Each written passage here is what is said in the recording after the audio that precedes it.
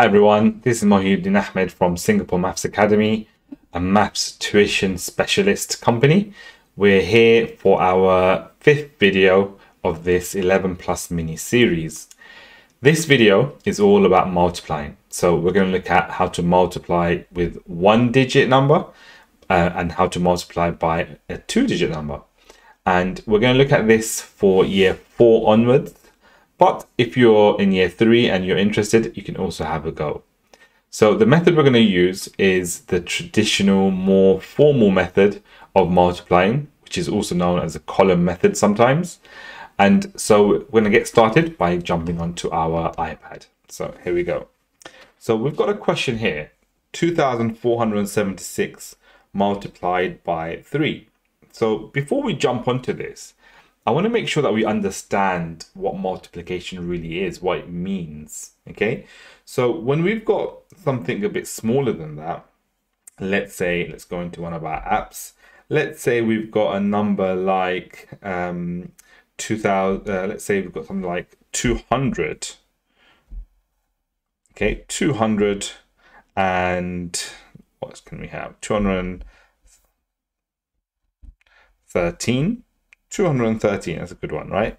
So 213, we want to multiply 213 by, what should we say, by 3. Would that be okay? Yeah, that's a good one, right? 213 by 3. So what do we do? What does it mean, actually? So we've got two lots of hundreds, one 10 and three ones. We want to multiply this by 3, 213 times 3. And so when we put 213 times 3, what we're really saying is we want to multiply the three ones by three. And so what's three times three class? We know that, right? Three, six, nine. So three times three is nine. So 213 times three is going to be three times three, which is equal to nine, as we've said already. Add, we've got 110 here.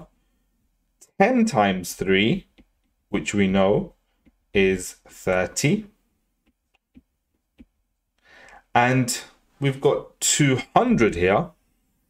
200 times 3, which is, we know 2 times 3 is 6, so 200 times 3 is be 600. Apologies about my apps acting up a little bit here.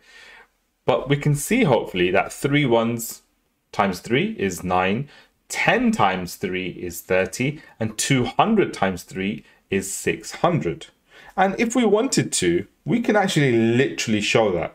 Okay, what do I mean by that? I mean, I can select my 200s and I can duplicate that and I can say, well, that's 200 and let's see, that's 200. And if I want to double that, I've got 400 and if I want to multiply by 3, I can see I've got 600. Just like here, 200 times 3 is 600, right?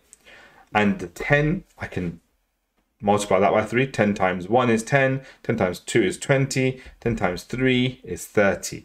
And the three ones, I can multiply by 3.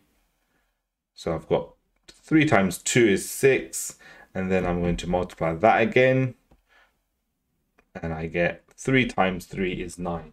So you can see here that I've got 9 ones, 3 tens, and uh, we've got 600 here. So when we add that together, we have, what do we have? 600, add 30, add the 9, we get 639. A bit like what we did in one of our other videos, right? 600 plus 30 plus 9 in our place value video. So hopefully that helped you to see this much quicker than I've done it. 600 plus 30 plus 9 is 639. So what we've done here is we've multiplied each place value by 3 in this case. So if we go back to our board and we see 2,476 times 3, what we're really doing is we're multiplying each part by 3. Now I'm going to take you through this in two different ways. Let me just move this across. So first method is using a broken down method, um, an extended method, which makes it a bit easier at first. So if your child is struggling with multiplying with a single or a double digit number, this might be one method that you want to choose before they jump onto the full on um, column method. That's a bit more challenging. So what do we do here in this broken down method? This is 3 times 6. What's 3 times 6? 6, 12, 18. 18, right? So I'm going to just write 3 times 6 is 18. I'm going to actually write down 18. So this is method 1. I'm going to write down for each place value if I multiplied that by 3, what would I get? Okay, now I've got 7 tens here. So I'm going to write this down. 7 tens times 3 is going to be 7, 14, 20. It's 21 tens. 21 tens is written as 210. 21 tens, 210. Great. Then I've got 400 here. 400 times 3 is 1200. How do we write 1200? 1200 is the same as 1200, right class?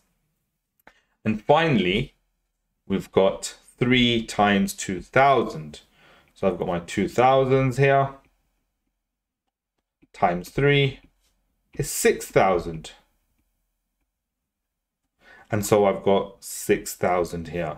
And so altogether, 3 times 2,476 is going to be 8 ones, 2 tens, 4 lots of hundreds, and 7,000. It's going to be 7,428. So you can see here what I've done is I've broken down each place value, the ones, tens, hundreds, thousands, and I've multiplied that, each of them by 3, and then added those um, answers together to get the final answer of 7,428. So that's one way that we can use column multiplication in a slightly different way in the sense that we don't typically want to jump onto that um, uh, or don't typically want to stay on that rather not jump onto that we can jump onto that at first but what we want our children to get onto which is a more efficient way of calculating um, using column method is your standard method that we all probably have learned by now and we were taught in school ourselves, which is 2,476 times 3. But the way we want to go through it is so that our children understand. So what did you do here? We did 6 times 3 here, which is 18, right, class? So 18. So um, because this is the ones column, this is the ones column, right? So I can only put the ones value here. I know 18 has got eight ones, so I'm going to write eight ones. That extra 10, I'm going to add on at the end. Okay, the extra 10, I'm going to add on to the tens column. So now I've got 3 times 70, which is 7, 14, 21, 210, right? So that's going to be 210 plus the extra 10 here. That's going to be 220. 220, 20 is in the tens column, but the 200 is in the hundreds column. So I'm going to add that 200 on after I multiply 400 by 3. 400 times 3 is 1,200, right? 3 times 4 hundreds is going to be 1200s. 1200 plus the 200 be 1400. So I'm going to write the 400 here. 1400 means 1400. So I'm going to write the 400 there. But the 1000 is going to go into the thousands column. So now I've got 3 times 2,000, which is 6,000. And 6,000 add the 1,000 is the 7,000 that we needed. We made an extra 1,000 from multiplying 3 times 400 and adding the 200 on. That made 1,400. Remember, 1,400 is the same as 1,400. Why is that? Because 1,400 is 1000 add 400. 1000 is a thousand. 10 lots of hundreds is a thousand. So 1400 is 1000, which is a thousand. Add the 400, so 1400. And that's how we get 7428. So if you're happy with that, have a go with your parents with some questions that they've got set up for you and try out how to multiply a four digit number by a one digit number and see how you get on.